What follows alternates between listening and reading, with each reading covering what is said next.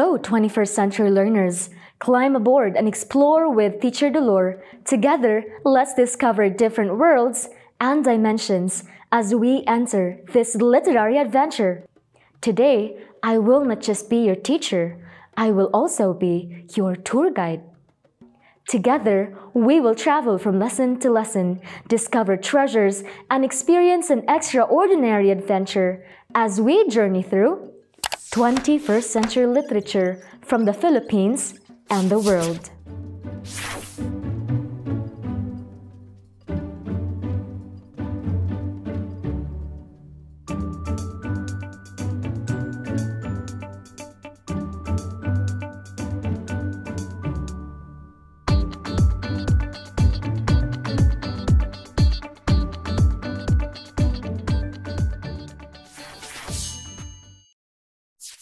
21st century learners, as a 21st century reader, you grew up using technology as a primary learning tool. You are capable of navigating and interpreting digital formats and media messages.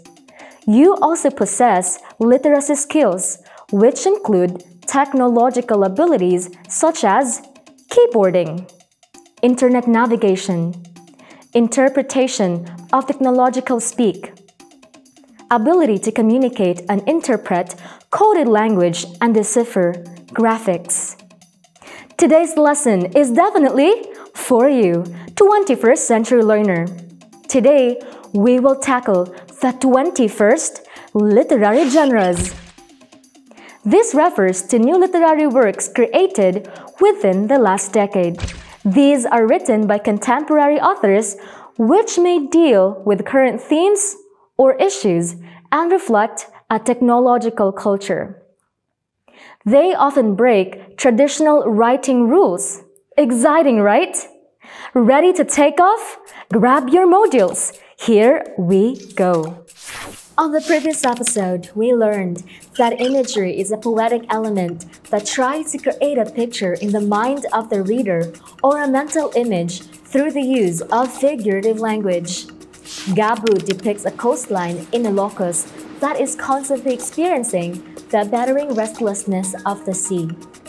Panahon na muling padaluyin ng Agos is a persuasive essay that focuses on the potent capacity of the national language to arouse patriotism and love of country and its people.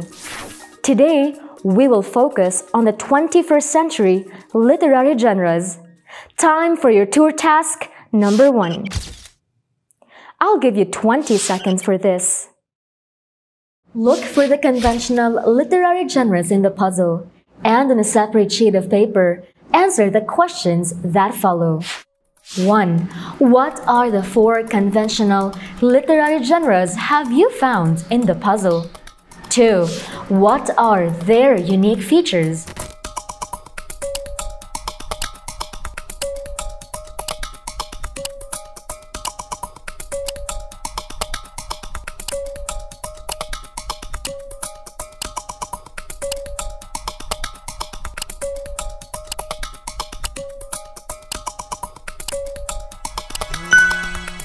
Time's up! Let's see how you did. What are the four conventional literary genres have you found in the puzzle? Answers are poetry, drama, fiction, and nonfiction. What are their unique features? Poetry. Poetry is an imaginative awareness of experience expressed through meaning, sound, and rhythmic language choices to evoke an emotional response. It has been known to employ meter and rhyme. The very nature of poetry as an authentic and individual mode of expression makes it nearly impossible to be defined. Drama. Drama is a composition in prose or verse presented through dialogues. It pantomimes a story involving conflict, more contrast of character, especially unintended to be acted on stage, a play. It may be any situation or series of events having vivid, emotional, conflicting, or striking interest. Fiction. Fiction is literature created from the imagination, not presented as fact, though it may be based on a true story or situation. Types of literature in the fiction include the novel, short story, and novella. Nonfiction. Nonfiction is based on facts and the author's opinion about a subject. The purpose of nonfiction writing is to inform and sometimes to persuade. Its examples are biographies, articles from textbooks, and magazines and newspapers. Can I have a peek of your answers? Bingo! You got great answers! Task unlocked. You have rediscovered the conventional literary genres.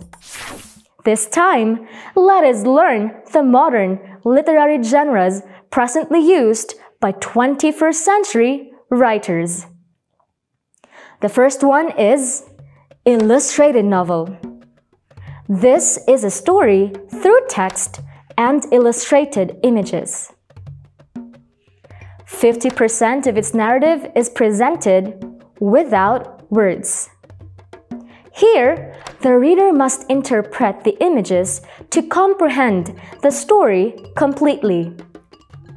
Textual portions are presented in traditional form. Some illustrated novels may contain no text at all. Examples of this include The Invention of Hugo Cabret by Brian Selznick and The Arrival by Shaun Tan. Then we have digifiction. Digifiction is a triple media literature. This combines three media book, movie or video, and internet website. To get the full story, students must engage in navigation, reading, and viewing in all three forms. Patrick Carman's Skeleton Creek and Anthony Zuiker's Level 26 are examples of this. There's also what we call a graphic novel. Graphic novel is a narrative in comic book formats. Graphic novel is a narrative work in which the story is conveyed to the reader using a comic form. The term is employed in broadly manner, encompassing nonfiction works and thematically linked short stories, as well as fictional stories across a number of genres. Archie Comics by John Goldwater and illustrator Bob Montana is a good example of a graphic novel. Next is manga.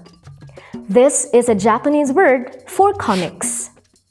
It is used in the English speaking world as a generic term for all comic books and graphic novels originally published in Japan. This is considered as an artistic storytelling style. Ameri manga is sometimes used to refer to comics created by American artists in manga style. Here are a few examples.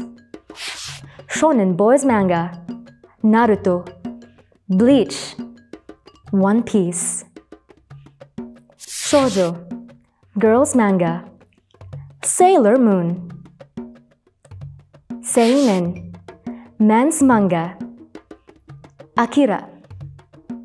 Josei, Women's manga, Loveless, Paradise, Kiss.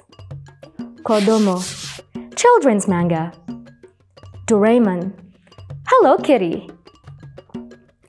We also have doodle fiction. This is a literary presentation where the author incorporates doodle writing, drawings, and handwritten graphics in place of the traditional font. Drawing enhances the story, often adding numerous elements.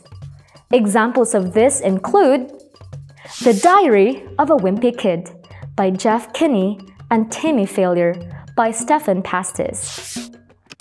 Finally, we have text talk novels. These are narratives written in blogs, email, IM, and messaging format. These stories are told almost entirely in dialogue, simulating social network exchanges. Now it's time for your tour task number two. You have to write the similarities and differences of the doodle fiction, manga, and graphic novel using the compare and contrast graphic organizer. I will give you 30 seconds for this.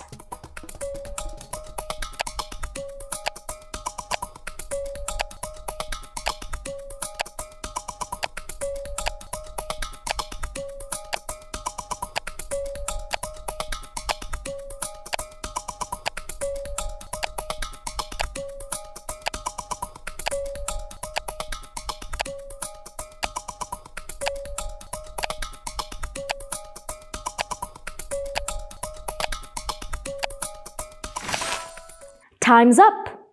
Let's check your answers. Similarities.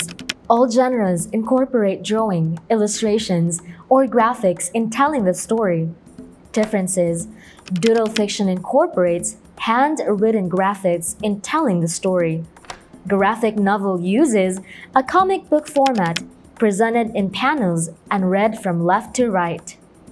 Manga uses a comic book format presented in panels read from right to left. They are published periodically in Japan. Well done! Another task unlocked! Literature is a timeless piece of entertainment as the innovations of technological advancements have grown. The way we read has revolutionized and evolved. However, the essence of storytelling and the effect it has on our lives haven't wavered.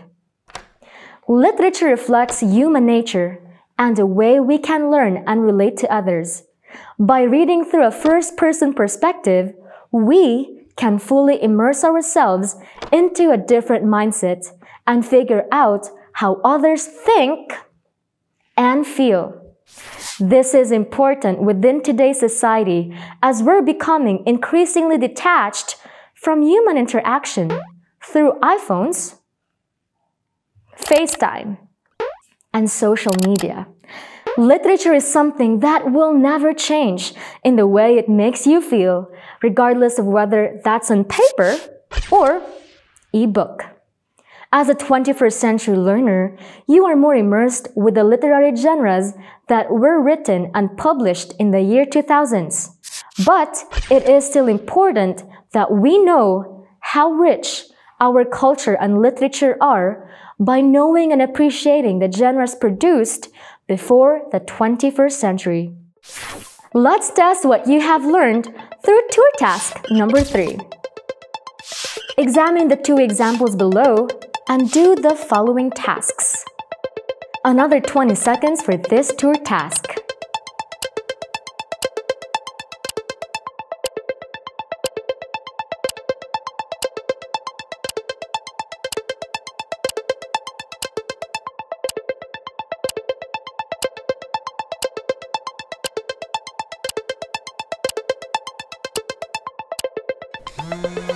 Time's up! Let's see how you did. Identify the literary genres of each example. Answers are text talk novel and digifiction. Compare and contrast the characteristics of the two. Similarities. Both genres incorporate digital media. Differences. Digifiction is triple media literature, book, movie or video, and internet website while text talk novels are stories that are told almost entirely in dialogue, simulating social network exchanges. Task Unlocked 21st century learners, I hope the literary tour was a fun-filled experience for you. There is more to come for the 21st century literature from the Philippines and the world. Stay tuned for more on the next episode. We'll journey through more of the 21st century literary genres. See you next time for more hashtag Explore with Teacher Dolore, only here on DepEd TV.